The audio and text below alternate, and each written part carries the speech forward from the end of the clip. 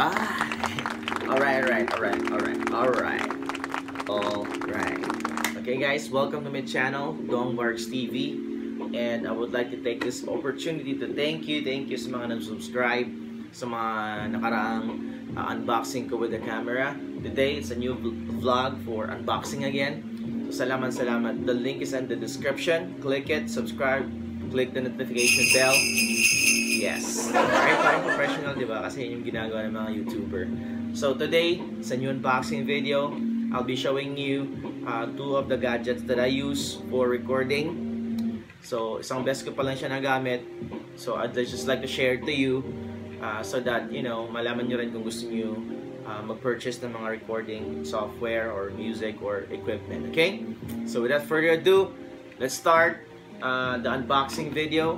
Uh, let's start with uh, the Audio Technica condenser. Alright, so it's the AT2050 and Audio Technica, so condenser. And the other one is the Scarlett Solo Focusrite. So, binili ko to para makapag-focus right. Alright, so Focusrite uh, interface siya. So, let's start first with uh, the microphone and how it works. Okay? So, uh, first of all, I got this uh, box from uh, SM Fairview JB Music. So, JB Music, uh, I, I commend you guys. Napaka-accommodating, napaka-friendly ng mga staff nila at saka mga representative. Talagang i-assist ka on whatever you like. Hindi sila uh, nagsasabi na bibili ka ba o hindi. Talagang uh, i-assist ka nila and very knowledgeable in terms of mga musical instruments and everything. So, I salute guys. Thank you. Babalik ako dyan. So, may kilala na ako dyan. So, thank you so much, JB Music, SM Furby. So, let's open now the actual uh, Audio Technica uh, condenser. So, uh, here we go. Alright. There we go. So, when you open the box, simple lang yung ano niya, uh, packaging. So, again, uh, meron siyang manual the Audio Technica AT2050. Very, again, wala kang nagbago sa ng manual. It's all in the internet, your cell phone, pwede mo basahin YouTube channels, mga YouTube tutorials on how to use the device. It's there, okay? So, uh, the first one inside the box is the pouch. Yeah, the Audio Technica pouch. Ang ganda niya. Uh, medyo stylistic siya. And, uh, let's see what's inside, okay?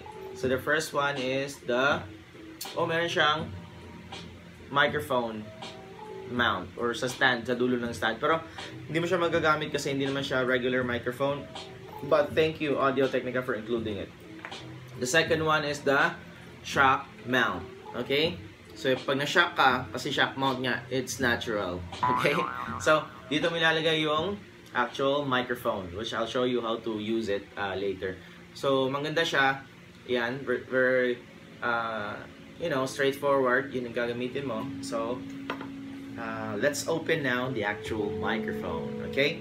So, before we do that pala, so a lot of people uh, have been asking me, gaganda ba yung boses ng quality ng boses mo or, you know, gaganda ba talaga? I'm happy to inform you that no.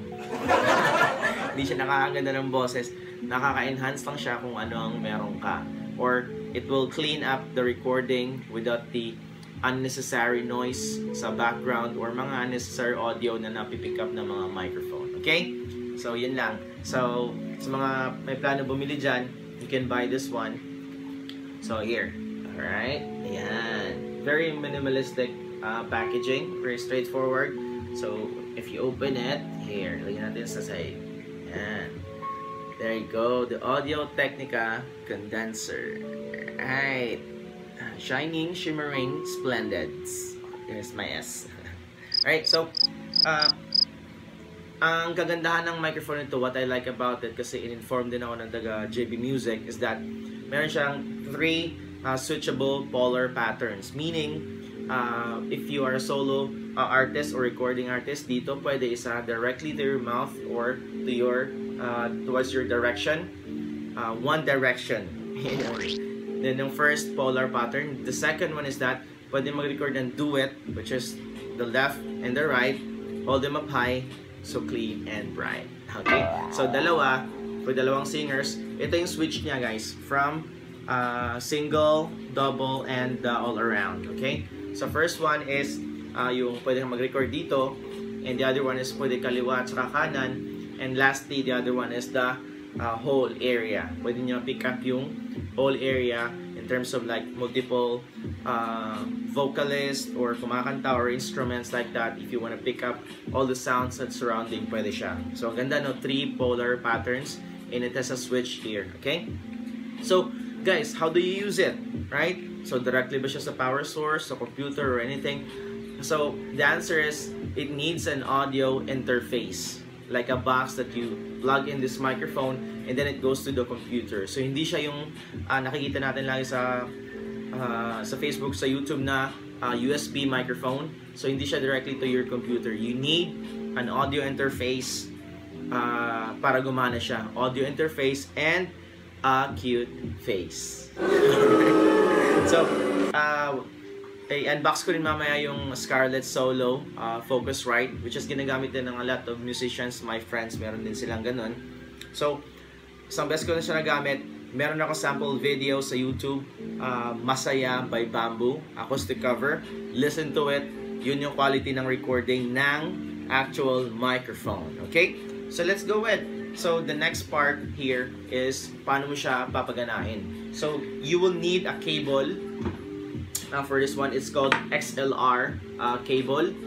So, magkaiba siya sa, uh, what do we call this, uh, normal cable ng microphone. So, ito, it goes here, yan, and the other end goes to the audio interface, hindi directly sa amp or sa computer. So, hindi siya, it doesn't work that way. So, uh, this cable did not uh, come with the actual package. So, it's sold separately around 800 or 500.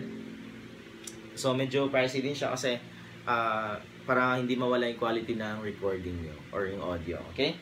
So, uh, balik na natin dito. Ah, ito pala. I'll show you how to uh, actually put it here. Right, there you go. So, shock mount again.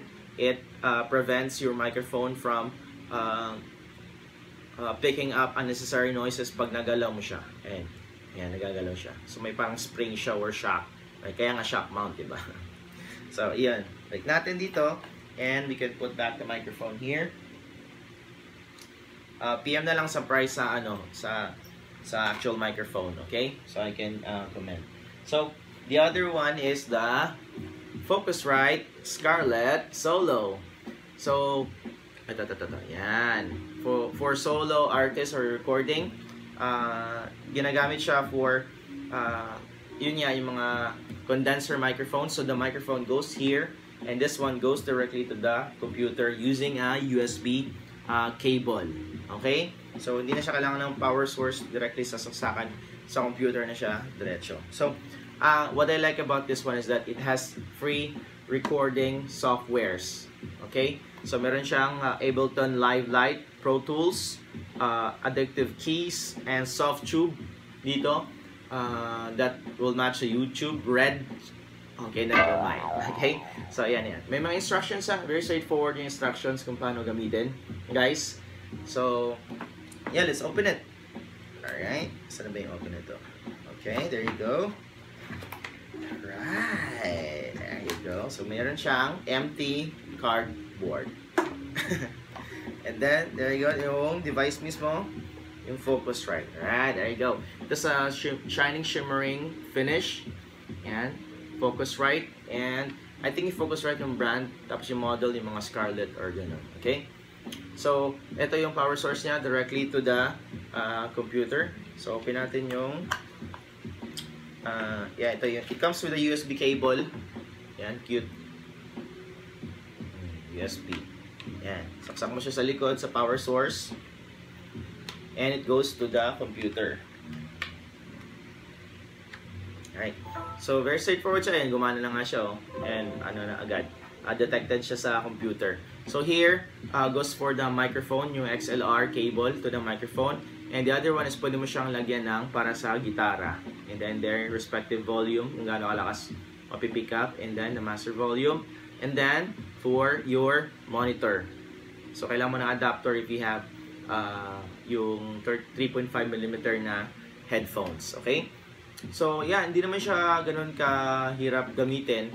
It has uh, line 1 and line 2. But stereo and mono recording, you can choose sa depende sa recording software mo. So, uh, it's a bit complicated guys when you have this device kasi kailangan mo ng recording software sa uh, actual computer. So, download mo rin software nito para mag-run siya sa computer. And then the other one is the microphone. So, but don't worry, uh, everything is in YouTube naman. You can learn how to install and operate the thing. So, uh, without this, the microphone will not uh, really work. So, you need this as a combination sa Audio Technica na microphone. So, yeah. So, unplug na natin.